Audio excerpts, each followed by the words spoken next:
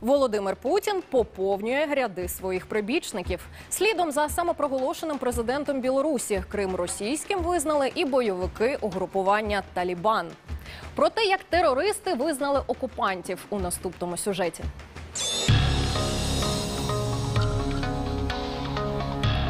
Минуло 100 днів з того часу, як таліби при владі Афганістану. 257 афганських змі закрилися. Ситуація в Афганістані не стабілізувалася. В країні голод і репресії процвітає торгівля наркотиками. Для всього світу вони терористи, які живуть е, за канонами середньовіччя. До проблем, що не вирішувалися десятиліттями, додалися нові, пов'язані з відсутністю міжнародного визнання. І тепер, щоб легалізувати свою владу, вони намагаються налагодити стосунки хоч з кимось. Назустріч терористам йдуть хіба що окупанти. І найтепліші стосунки у Талібану на міжнародній арені складаються саме з Москвою. Зрозуміло, що Росія намагається легітимізувати те, що вона зробила. Тобто Росія вкрала Крим. Вони розуміють, що це те, що вони зробили, це злочин, і вони намагаються якось виправдати це і знайти якомога більше підтримку у світі. Таліби розташовані ну, близько до російських кордонів, і особливо до зони впливу Росії, до Таджикистану, до Узбекистану. Тому звісно, що для Росії це важливо навіть просто з огляду на те збереження спокою в цьому регіоні. Тому не дивно, що таліби заявили, що визнають Кримський півострів російським.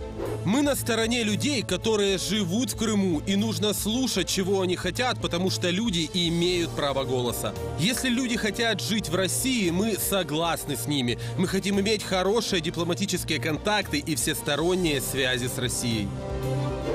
Понятно же, что бородачи с автоматами не просто так проснулись с утра, совершили намаз, забросали камнями пару свободолюбивых женщин и после этого признали Крым российским. Это могло стать только результатом долгой работы российских дипломатов и спецслужб.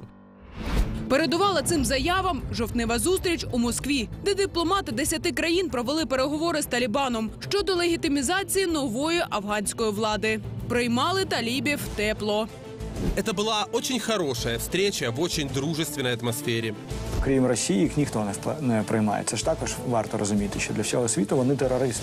Москва визнає Талібан. Президент Росії Володимир Путін заявив, що хоче домогтися виключення руху ісламізму Талібан зі списку терористичних організацій. Позиция России будет заключаться в том, чтобы двигаться именно в этом направлении. Исключение Талибана из списка террористических организаций. Но все-таки эти решения должны быть приняты таким же образом и способом, которым они принимались раньше, когда мы это движение включали в список террористических организаций.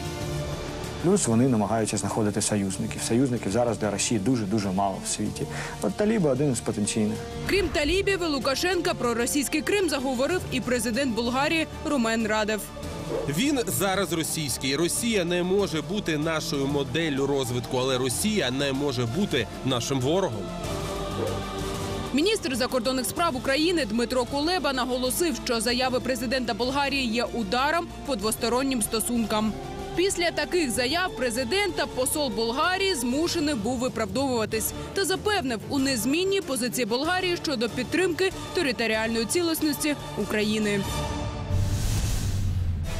З 25 січня відтепер тільки на 2 плюс 2. Найрезонансніші події світу в усіх подробицях. Знаємо більше, розповідаємо чесно, не приховуємо нічого. Найцікавіше у секретних матеріалах по буднях тільки на 2 плюс 2.